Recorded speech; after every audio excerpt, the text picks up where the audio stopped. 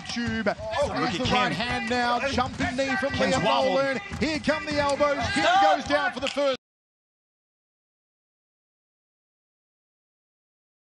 Abasolo might need a miracle at this point. 15 seconds.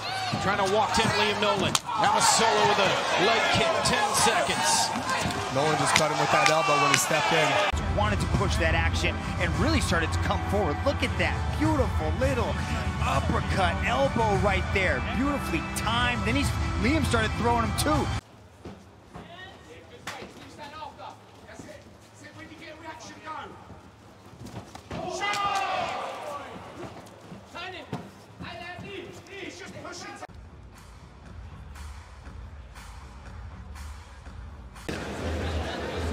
Inside leg kick, nicely done there for the young man from London. Very active round coming off of Liam Nolan. Look at this.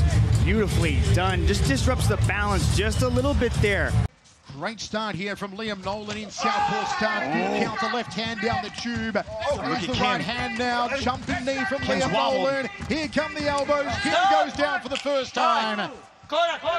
He's going to ride the count here of Aliastalopoulos. Can he make it up? Six. Does by the seven, count of six. He might be eight, gone here, though. He can't respond. No. It's over. Liam Nolan does it again. Incredible performance from Nolan.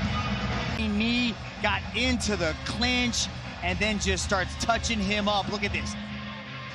Fantastic knees, just drilling that left patella into the side of the head.